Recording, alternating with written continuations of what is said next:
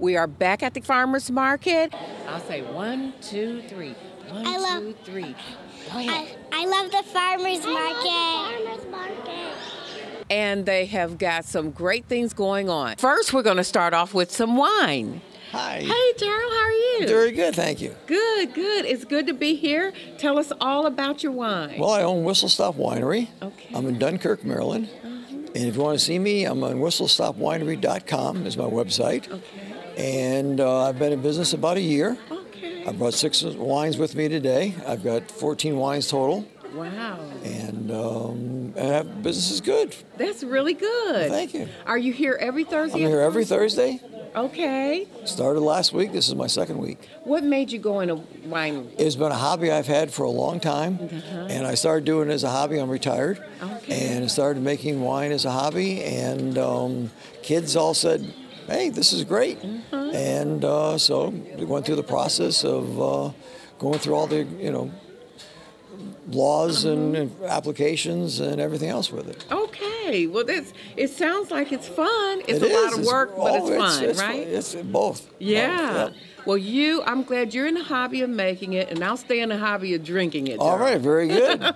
We're here with Audrey. Audrey, how are you? I'm good. How are you? good. You've got some really delicious looking Yes, things we do. here. What's the name of the company? Magnolia Bread Company. All right, that's good. And if the public wanted to find you on Facebook, how would yes. they do it? Uh, you would type in magnoliabreadcompany.com, and we're based out of Sudlersville, Maryland, so we'll pop up right up. All right, good. Well, what do you have here today? Uh, we have pizza pretzels, which is tomato and cheese, garlic pretzels. We have Russian black, baguettes. We have ancient grain, sweet potato, and sourdough French, and biscuits. Sweet, sweet potato and shortcake biscuits, and pizzas. All right. Well, come get one of each. It's delicious. We've got another fun vendor here at the farmers market. How are you? I'm doing well. How are you, Renee? Just great. well, tell me all about your business, how people can contact you, and what you have here today. So, um, my name is Bethany. I am here representing my family business, Priapi Gardens. Um, we're a small certified organic vegetable farm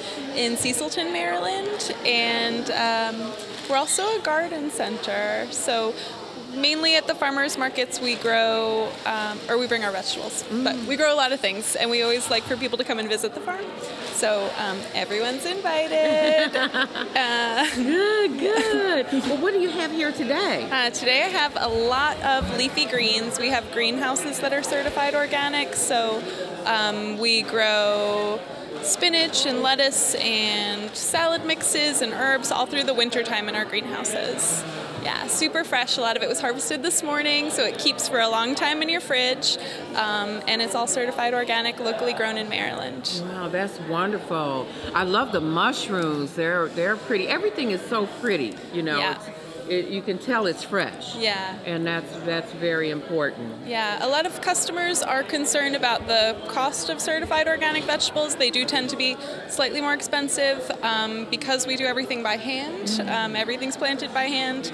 Uh, but we cut them this morning, so all of these greens will last for about a week at least, often more like two weeks in your refrigerator. So, Really? unlike things that you buy from the grocery store that usually travel from California, um, we would advocate that buying local, you get a fresher product that will keep longer, and we also reinvest that money right into local businesses in Maryland. We support other local businesses here, so keep the money in the state. That's right. Yeah, That's right. and it's all much better for you because it's um, chemical free and uh, grown with a lot of love. We love what we do, so we love when people also love what we do. That's great. Now that we've found plenty to eat and plenty to drink, let's get clean. How are you? I'm good. Good. Just tell me tell me about your business. What's your name? How My- can people reach you? My name's Matt Redmond, and my uh, business is called Chesapeake Soaps and Apiaries. Um, I sell soap and honey. Base, that's the basic part of my business, and then uh, I do other cosmetic products, and uh, I also sell uh, comb honey in season and uh, bee pollen, and uh, I have different creams and salves, lotions, uh, sh- shower gel, uh, body and linen spray. Uh, those are some of the basic. Uh, I, I sell a pet shampoo. Nice. And I'm willing to, you know, try new things too. Uh, I just recently made a charcoal soap, Really? and uh, activated charcoal draws out impurities out of your skin. So I thought I'd give that a try.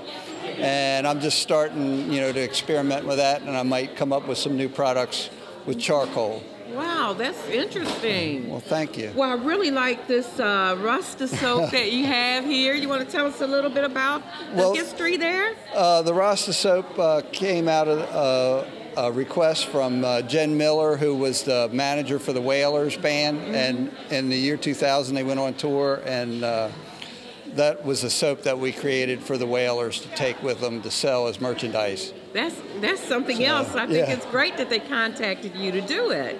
That was quite a, uh, very nice to yeah. do that. so. Well, I really love this one. It has the blue crab inside. Yes. A glycerin soap. It is a glycerin-based Okay, soap with so- a, a vinyl crab in there. Uh-huh. No, no crabs were harmed in the making of that soap. so.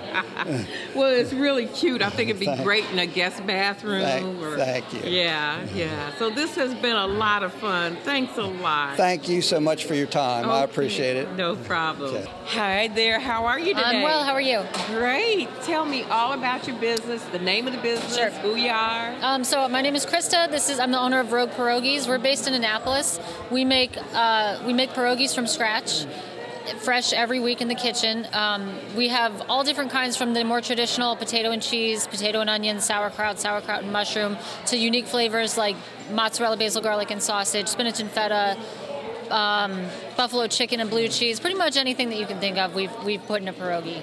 Um, we have about we've made about 35 different varieties over the years, and at any given market, we have anywhere from 10 to 15 different different flavors, and we try to use as many local ingredients as possible. Well, thank you so much. I tell you what, I've tried them and they're very good. Thank you.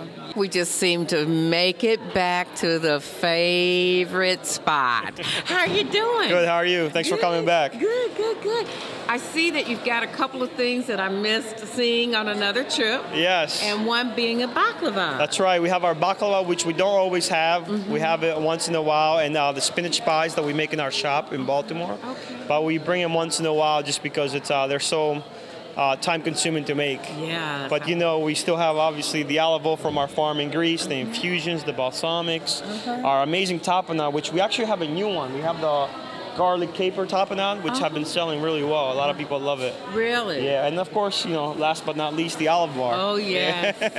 That's your favorite. Oh yeah. the orange infused. yes. That's my favorite. Yep. Yeah, but thank you so My much. My pleasure. Thank It's you for coming back. you. Like- I hope you enjoyed our visit at the farmers market, and remember, it's every Thursday. Stop on by. Come to the farmers market.